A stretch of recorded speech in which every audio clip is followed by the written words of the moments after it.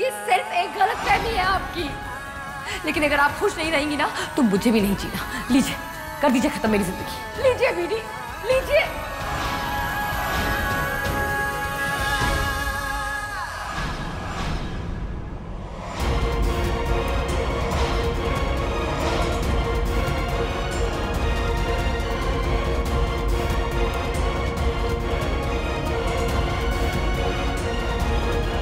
अपने ही हाथों से अपनी लाइफ बर्बाद कर दी। अपने हस्बैंड को छोड़ दिया। उससे बड़ा अभागा कोई भी नहीं। मेरी वजह से मैंने अपने बच्चों की लाइफ खराब कर दी। उनसे उनका बाप छीन लिया। अक्की को माँ का प्यार नहीं मिल पाया। मैं गलत थी मेरा। मेरे एक छोटे से शक की वजह से मेरी पूरी ज़िंदगी खराब हो गई। मैं खुद को कभी माफ़ नहीं कर पाऊँगी मीरा। ऐसा मत बोलिए बेटी। आपकी कोई गलती नहीं है इसमें ये सब एक गलत फहमी की वजह से हुआ भी नहीं। मुझे माफ़ कर दो मीरा। तुम बहुत अच्छी हो। तुम्हारा बहुत बड़ा दिल। मेरी प्यारी बहन मेरे सामने थी। फिर भी मैं सच देख नहीं पाई। मीरा सॉरी कोई हक नहीं है मुझे इस घर में रहने का। मैं इस घर को छोड़ के चली जाऊँगी। तुम सब संभाल लेना मीरा। प्लीज़ ऐसा मत बोलो बेटी। इतनी मुश्किल से, इतने टाइम बाद तो हमारी फैमिली फिर से जुड़ी है और एक हुई है। खबरदार जो आपने इससे दूर जाने की, ऐसे तोड़ने की बात की तो।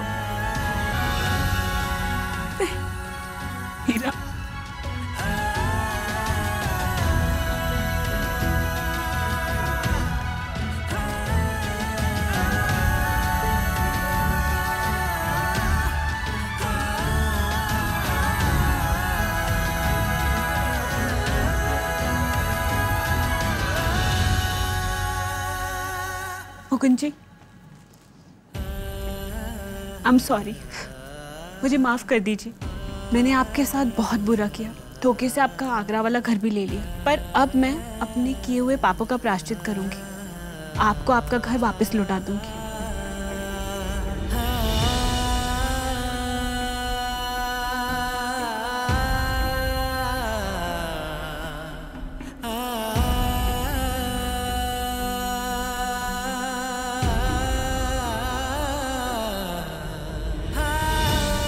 अरे नव्या, तुम वहाँ क्यों खड़ी हो? आ जाओ बेटा।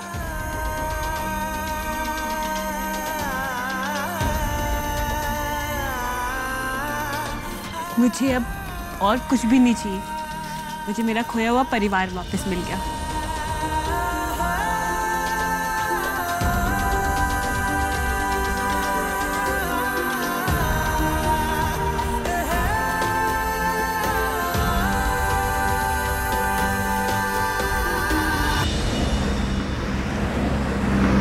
मासी ने तुम्हारे लिए क्या बनाया? है तुम्हारे फेवरेट बेसन के चिल्ले। मुकुंद जी ने उन्हें बताया कि तुम्हें क्या क्या पसंद है। और बस, उन्होंने बना दिया। बोली कि इतने दिनों से दवाई खाकर के तुम्हारा मुँह कड़वा हो गया होगा। तो क्यों ना आज कुछ तुम्हारी पसंद का बनाया जाए?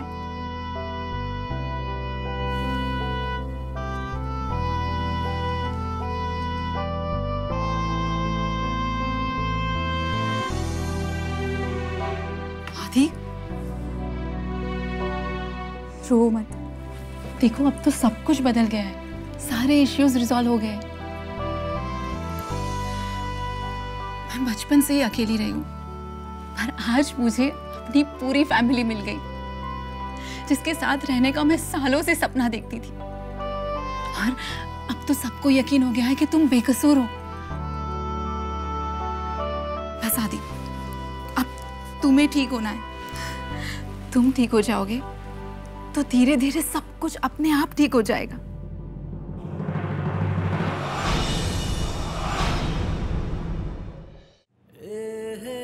नव्या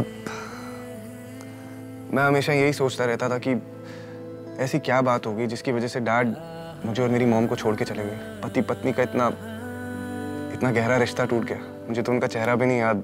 बहुत छोटा था जब वो छोड़ के गए। बस इतना याद है कि वो मुझसे बहुत प्यार करते थे। लेकिन तुम्हें पता है, मॉम ने ये बातें हमसे कभी नहीं बताई। अब मुझे रियलाइज़ होता है कि मैं मैं कितनी बड़ी गलत फहमी में था। तुमसे वो वो कॉन्ट्रैक्ट वाली बात छुपा के मैंने भी मॉम वाली गलती कर दी। नव्या ये सोच के भी डर लगता है कि अगर हमारे रिश्ते के बीच में कभी मत कहो ऐसा। हमारे बीच में ऐसा कभी नहीं होगा। नेवर ओके ठीक है तो एक प्रॉमिस करते हैं हम लोग। चाहे कुछ भी हो जाए कितनी भी बड़ी बात क्यों ना हो हम लोग एक दूसरे से कुछ भी नहीं छिपाएँगे। और कैसी भी लड़ाई हो जाए हमारे बीच में हम लोग रात को सोने से पहले सब कुछ डिस्कस करके सोएँगे। प्रॉमिस करो ना क्या? आई प्रॉमिस ऋत्विक अगर ऐसी बात है तो मुझे तुमसे एक बात करनी है। मुझे हमारा बेबी नहीं चाहिए। मुझे अभी अभी भारत तो वापस मिला है। और इतना कुछ सहा है इसने मुझे डर है कि ऐसे में हमारा भारत के लिए प्यार ना कम हो जाए। नफिया ऐसा कैसे हो सकता है? तुम तो रिश्ते निभाने में परफेक्ट हो। तुम सब संभाल लोगी। मुझे नहीं चाहिए एक और बच्चा। भरत है ना? हमारा बच्चा। तुम समझ रहे हो ना?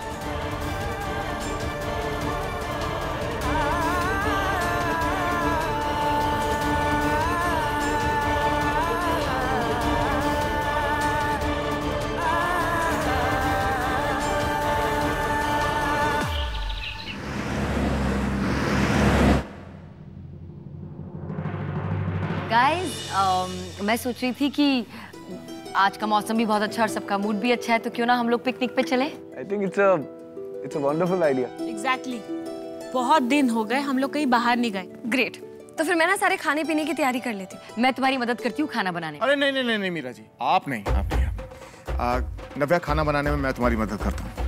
पता चला मीरा जी गई खाना बनाने के लिए तो पूरा दिन किचन में ही लग गया। खाना बना ही नहीं फिर भी। और हम यहीं बैठे रह गए। पिकनिक के लिए निकल ही नहीं पाए। इसलिए आप बैठ जो अकी आदि का सामान भी साथ पैक कर लेना। आदि हमारे साथ जाएगा।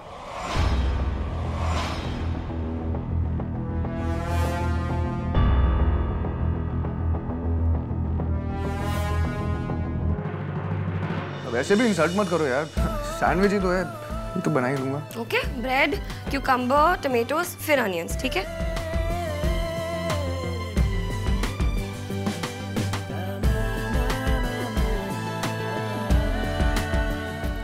ऋत्विक?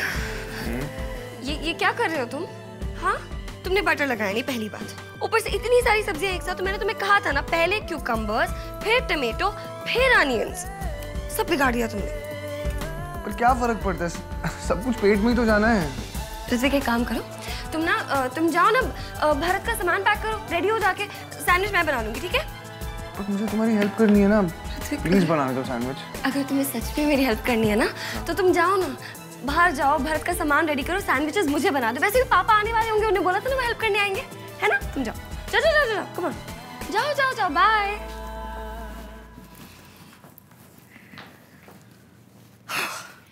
मुकुंद जी आपका सामान सारा रख लिया है मैंने और न्यूज़पेपर भी रख लिया है क्योंकि जब तक आप पूरा पेपर ना पढ़े आपको चैन नहीं पड़ता ना।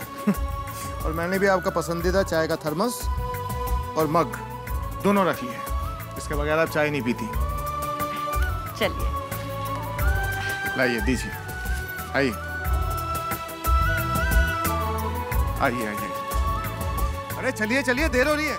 जल्दी चलिए सामान रखिए गाड़ी में। आइए।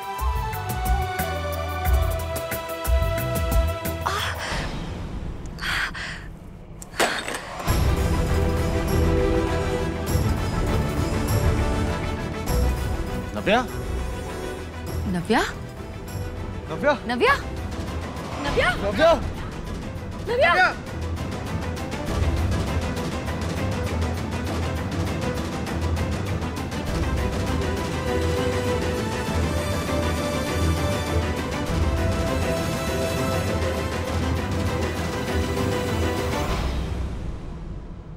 बधाई हो गुड न्यूज़ है।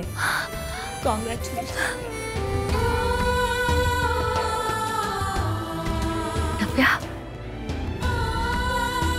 कॉन्ग्रेचुलेशन तुम माँ बनने वाली हो।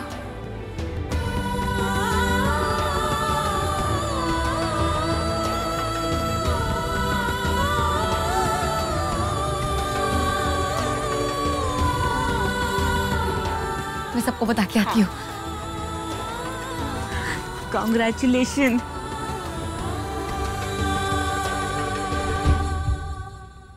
जी क्या हुआ?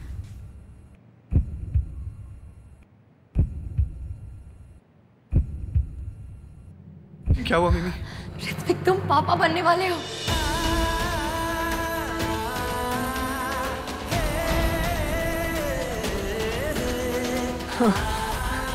मिमी आप क्या कह रही हैं?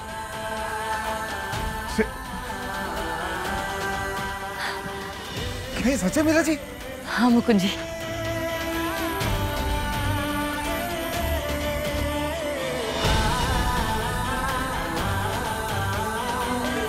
Navya thank you so much मैं बहुत खुश हूँ आज।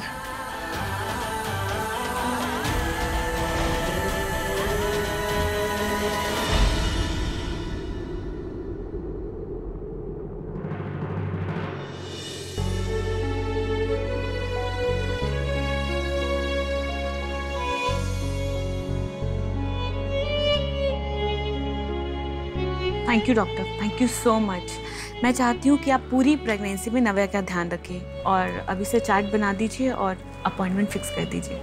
ठीक है देविका जी पर एक और बात कहनी है मुझे।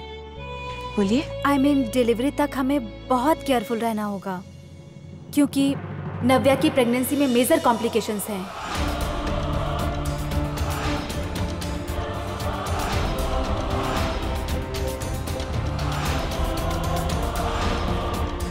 कैसे कॉम्प्लिकेशन डॉक्टर एक्चुअली नव्या का हीमोग्लोबिन काउंट ऑलरेडी लो है। मैंने फर्टाइल टेस्ट की रिपोर्ट भी चेक की है। उसे जितना ज़्यादा बेड रेस्ट दे सकते हैं, उतना ही उसके लिए अच्छा होगा। और मुझे बाकी के टेस्ट भी करने हैं। तो नव्या को लेकर आपको एक बार हॉस्पिटल आना होगा। मदर एंड चाइल्ड दोनों के लिए अगले तीन महीने बहुत इम्पोर्टेंट हैं। पूरा ध्यान रखना होगा आपको।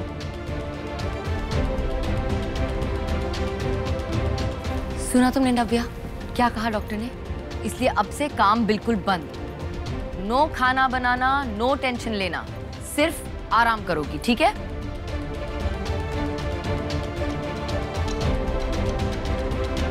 डॉक्टर डोंट वरी मैं नव्या का पर्सनली ध्यान रखूँगी। Navya you are so lucky आपके पास इतनी प्यारी फैमिली है। दैट्स ग्रेट आइए डॉक्टर, मैं आपको बाहर तक छोड़ देता हूँ। Thank you bye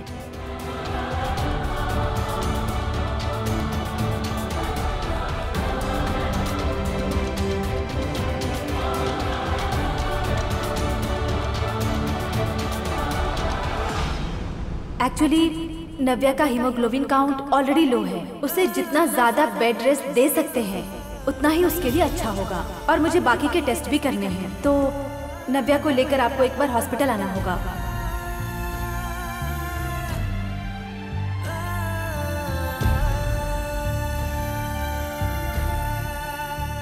चिंता मत करो, ऋत्विक। सब ठीक होगा। देखो, ऋत्विक, जो हुआ भी है ना, वो भी चमत्कार से कम नहीं है। भगवान ने अब तक अच्छा किया है। आगे भी अच्छा ही करेगा। देखो ऋत्विक मैं तुम्हारी चिंता, तुम्हारा दर्द समझता हूँ। क्या होता ना, ऐसे समय पर सब लोग माँ की चिंता करते हैं, उसके बारे में सोचते हैं।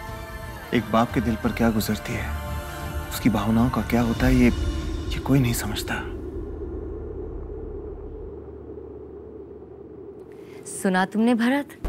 अब बहुत जल्दी तुम्हारे पास एक छोटा भाई या बहन आने वाला है, जिसके साथ तुम खूब खेलोगे और खूब मस्ती करोगे।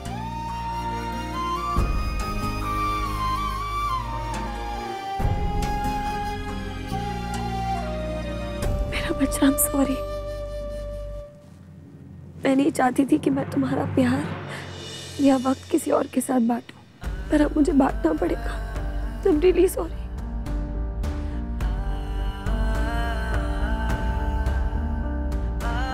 नव्या, ऐसा क्यों बोल रही हो?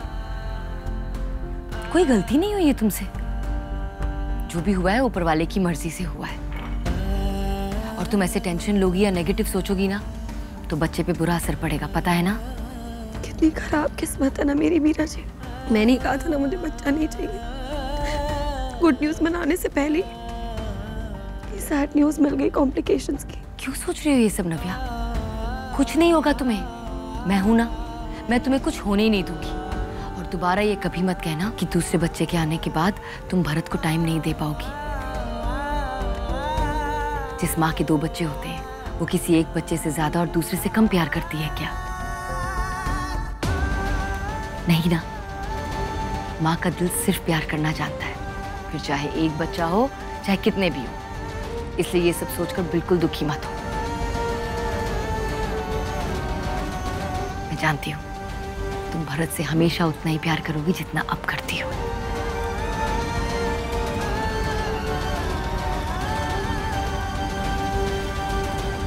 मीरा बिल्कुल ठीक कह रही तुम सब कुछ हम पे छोड़ दो और सिर्फ़ अपना और अपने होने वाले बच्चे का ध्यान रखो। देखना ये तीन महीने तो हवा के झोंके की तरह बीत जाएँगे। स्माइल नाउ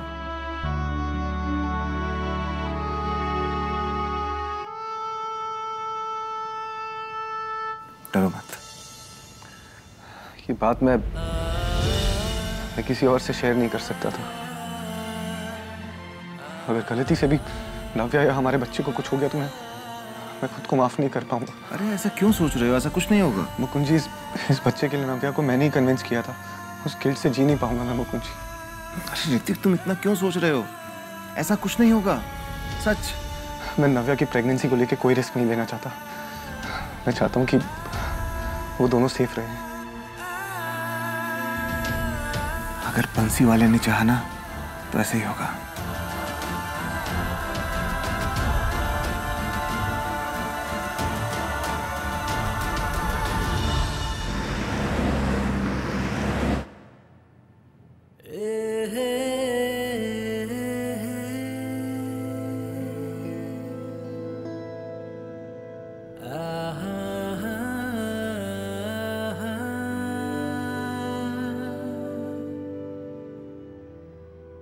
मैं तुम्हें कभी कुछ नहीं होने दूँगा। और ना ही तुम्हारी मम्मा को।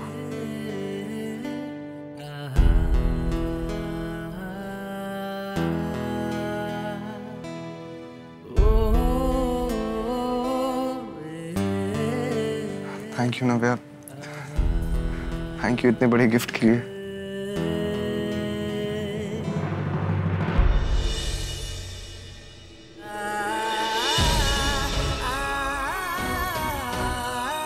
क्या हुआ? कुछ चाहिए क्या तुम्हें?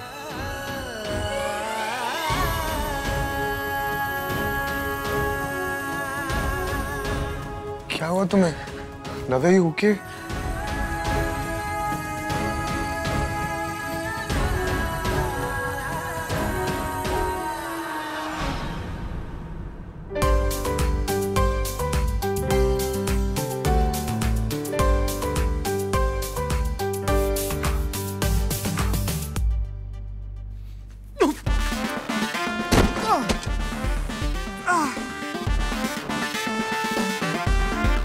मीरा जी क्या हाल बना रखा है आपने कमरे का? देखिए कहीं पे पन्ने पड़े हैं कहीं पर ये तारे लटक रही हैं। अभी गिर जाता मैं तो क्या होता फिर? मीरा जी मैं आपसे बात कर रहा हूँ। ये देखिए ता